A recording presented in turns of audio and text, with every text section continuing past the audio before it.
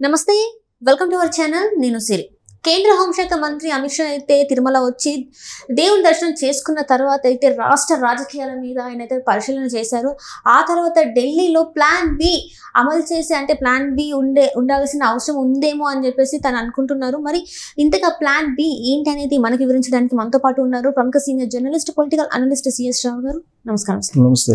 So ఇక్కడ చూస్తున్నట్టయితే కేంద్ర హోంశాఖ మంత్రి అమిత్ షా గారు అయితే వెంకటేశ్వర స్వామి దర్శనం తర్వాత కేంద్ర అంటే రాష్ట్ర రాజకీయాల మీద కూడా తన పరిశీలన చేసిన తర్వాత ఢిల్లీలో ప్లాన్ బి తీసుకొచ్చే అవకాశం ఉందని చెప్పేసి కూడా వార్తలు వస్తున్నాయి. మరి ఏంటి ఆ ప్లాన్ బి?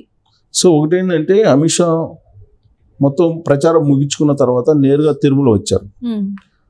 ఆయన ఎప్పుడు తిరుమల వస్తుంటారు అమిత్ షా? అవును సార్. ఈసారి కూడా ప్రచారం ముగిసిన తర్వాత ఆయన తిరుమల రావడం జరిగింది.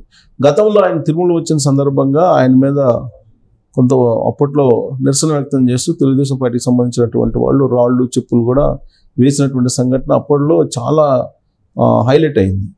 కానీ ఇప్పుడు ఈసారి కూటమిలో ఉన్నారు బీజేపీ. కూటమిలో ఉన్నారు.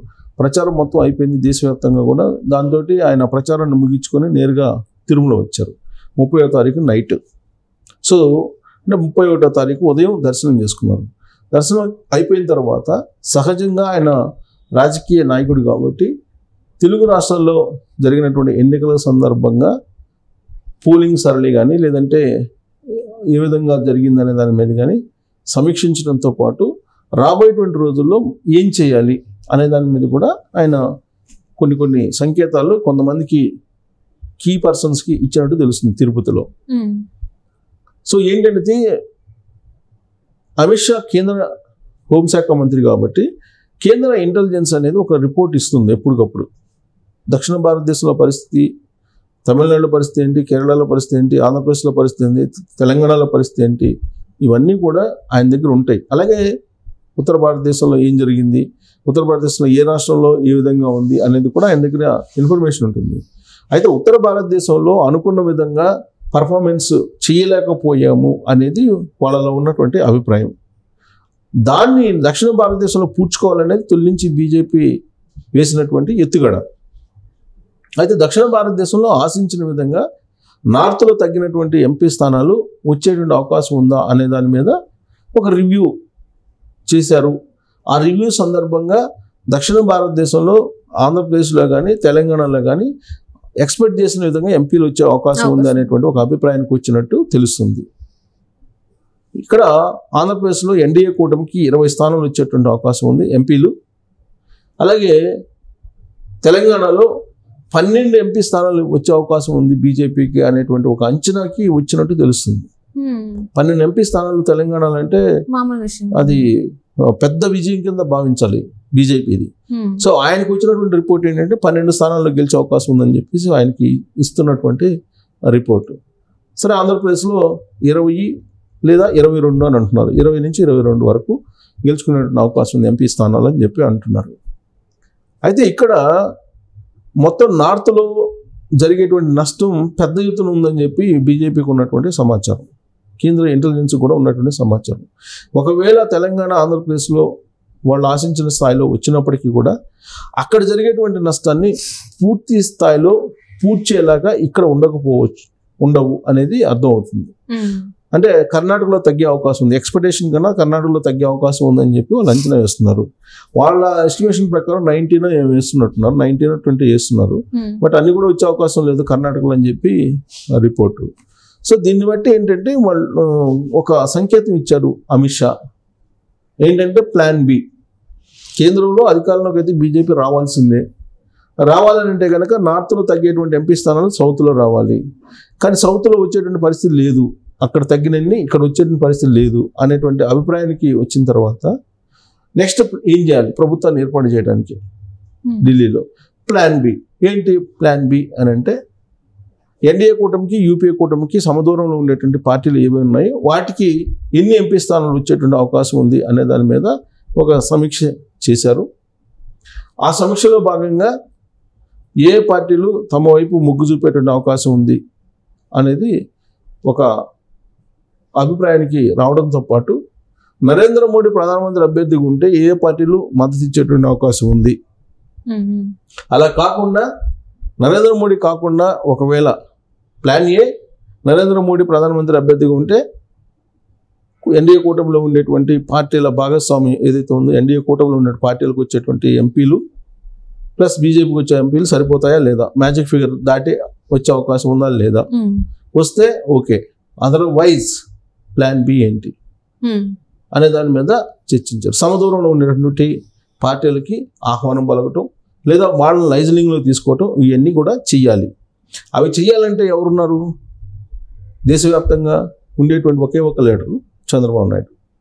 చంద్రబాబు నాయుడుకి ఉత్తర భారతదేశంలో కానీ దక్షిణ భారతదేశంలో కానీ పరిచయం ఉన్నటువంటి ప్రధానమైనటువంటి లీడర్లు ఉన్నారు. సత్సంబంధాలను కొనసాగిస్తూ ఉంటాడు చంద్రబాబు నాయుడు. గతంలో యునైటెడ్ ఫ్రంట్ని నేషనల్ ఫ్రంట్ని నడిపినటువంటి అనుభవం కూడా ఉంది ఆయనకి. ప్రత్యక్షంగా కానీ పరోక్షంగా కానీ అలాగే ఎన్డీఏలో కన్వీనర్గా కూడా చేశారు ఆయన. ఎన్డీఏలో కన్వీనర్గా ఉన్నప్పుడు వాజ్పేయి ప్రధానమంత్రి అయ్యి అప్పుడే బీజేపీ మొలపడింది కూడా. అధికారంలో రావడం కూడా మొదటిసారి అదే. ఎన్డీఏ కన్వీనర్గా చంద్రబాబు నాయుడు ఉన్నప్పుడే. చంద్రబాబు నాయుడు ఎన్డీఏ ఎన్డీఏలో కీలకంగా ఉన్నప్పుడే. బీజేపీ తొలిసారిగా అధికారంలోకి వచ్చింది. కాబట్టి ఈ అనుమానాలన్నీ దృష్ట్యా ఈయనకున్నటువంటి పరిచయాల దృష్ట్యా చంద్రబాబు నాయుడిని కాంటాక్ట్లో తీసుకున్నారు అమిత్ షా అనేది తెలుస్తుంది. తిరుమల తిరుపతి నుంచి తిరుమల నుంచి తిరుపతికి వచ్చిన తర్వాత తిరుపతి నుంచి చంద్రబాబు నాయుడుతో ఫోన్లో మాట్లాడారు. ఆ ఫోన్లో మాట్లాడిన మాట్లాడడం ద్వారా ప్లాన్ బి ఏంటి ఒకవేళ ఇన్ కేస్ అక్కడ కేంద్రంలో కనుక అధికారం లేకపోతే ప్లాన్ బి బి సందర్భంగా ఎవరెవరిని కాంటాక్ట్ కావాలి? ఉమ్, చంద్రబాబు నాయుడుకి అత్యంత సన్నిహితంగా ఉండేటువంటి వాళ్ళు ఎవరంటే మమతా బెనర్జీ. ఉమ్, ఎప్పటి నుంచో సుదీర్ఘమైనటువంటి పరిచయాలు ఉన్నాయి రాజకీయంగా. అలాగే అక్కడ నితీష్ కుమార్ ఎలాగో ఆయన ఎన్డీఏలో భాగస్వామి ఉన్నాడు నితీష్ కుమార్ కూడా. తర్వాత నవీన్ పట్నాయక్ నవీన్ పట్నాయక్తో కూడా సత్సంబంధాలు ఉన్నాయి చంద్రబాబు నాయుడుకి.